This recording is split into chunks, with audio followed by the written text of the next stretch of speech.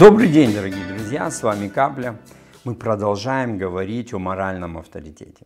И сегодня я хотел бы начать небольшой такой блог по поводу того, как мы можем развивать Божий авторитет э, и быть авторитетом для наших детей. Существует пять аспектов, о которых мы будем говорить чуть позже, которые помогут нам быть максимально авторитетными личностями для наших детей, для нашей семьи. Во-первых, это полное подчинение Богу через Его Слово.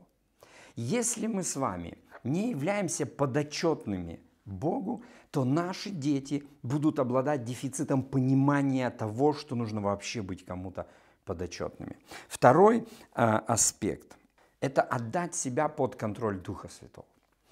Это означает очень простые вещи. Перед тем, как принять какие-то очень важные решения, мы молитвенно ищем ответы у Бога, внимательно прислушиваясь к Его мнению, внимательно прислушиваясь к тому, что Он хочет нам сказать, и в послушании исполняющие эти рекомендации. Третья вещь.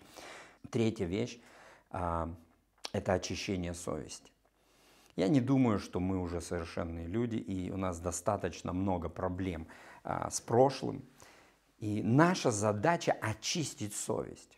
Очистить совесть и прислушиваться к ней, потому что я более чем уверен, что совесть – это голос Духа Святого в сердце каждого из нас. Следующее – сказать «нет» любой аморальности. Не только личной аморальности, то есть побороть в себе какие-то неизменные вещи, но и любой аморальности, которая окружает нас э, в этом мире – Дети должны видеть, что их отец, он радикально настроен против всего аморального. И последнее, не менее важное, это сделать себя подотчетным. Найти для себя наставника, найти человека, который будет иметь право наказывать, формировать, учить и любить тебя. Это очень важно. Итак, эти пять вещей помогут нам стать более авторитетными в наших семьях и для наших детей.